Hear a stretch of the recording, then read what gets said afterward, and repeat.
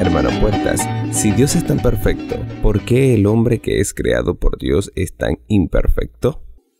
Porque hay un diablo que tienta a la humanidad y el hombre sigue los consejos, las insinuaciones, las invitaciones del diablo. Por eso hay tanto pecado, por eso hay enfermedades, por eso vino la muerte. Los ángeles no se mueren y viven millones y millones y millones de años, no se enferman.